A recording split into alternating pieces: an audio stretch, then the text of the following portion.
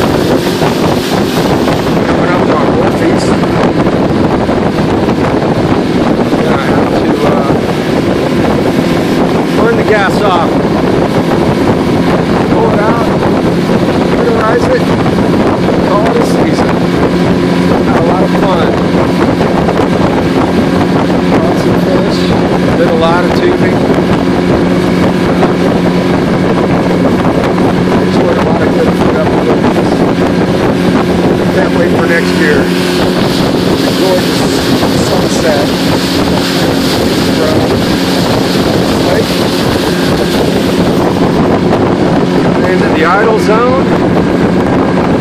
Ready to call it quits for the day. Got about an eighth of the tank left.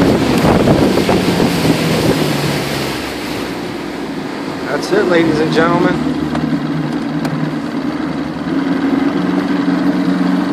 Quite a few boats already put away for the season. I think maybe one or two more days. Tomorrow's supposed to be gorgeous. So that's it. Hope you enjoyed the tour.